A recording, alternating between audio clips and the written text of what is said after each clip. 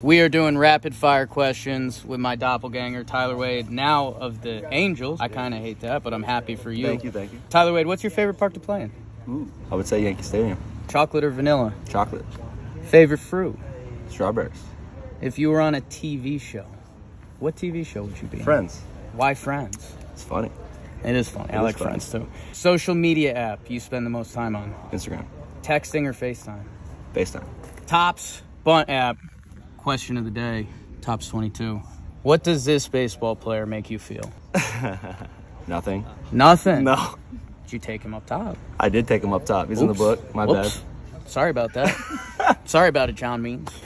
John means well. Me and my doppelganger, Tyler Wade. With the Angels now. Sorry, buddy.